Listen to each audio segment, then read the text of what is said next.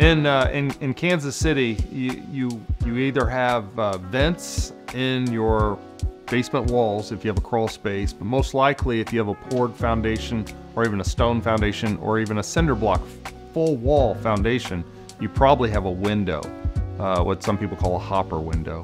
And those can act as vents when they're open. So the, the, the traditional line of thought is uh, in the summertime, you open your vents to allow the wind to blow through and allow the, the foundation and the basement area to breathe or the crawl space to breathe to help keep it dry in, in those times. And in the winter, you tend to close them to keep your heat to make it your, your furnace work more optimally. Some people have lines of thought where they'll, they'll alternate months. They'll keep them open for a month, they'll close them for a month.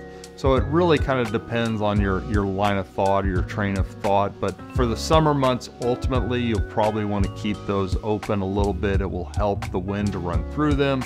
It lowers the relative uh, humidity, which can produce a healthier environment. So your temperature can stay a bit more consistent, the humidity can be more consistent, and you have less less uh, opportunity or potential for any type of mold growth with that wind that's able to kind of move through there to allow that basement area to breathe.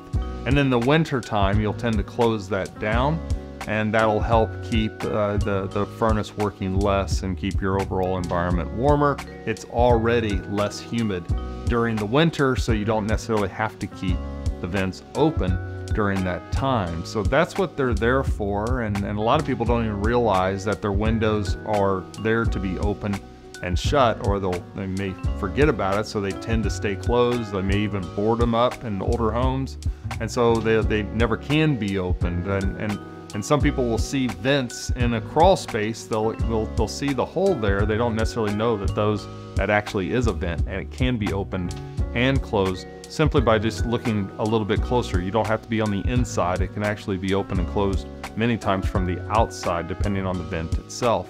You'll, you'll see them get damaged at times as, as, well. And, and KC Pier has, has solutions for venting or helping keeping healthy environments. And so that is something that we can we can look at in a house to encourage water management and, and the water management can also encourage a healthier environment which includes venting. So that's something that you can go to our website give us a call or just simply enter on the form we'll give you a call set up a consultation. Consultations are free. And then ultimately we can take a look at your whole house from a venting breathing and water management uh, perspective to ensure that your house is as healthy as it, it, it, it can be.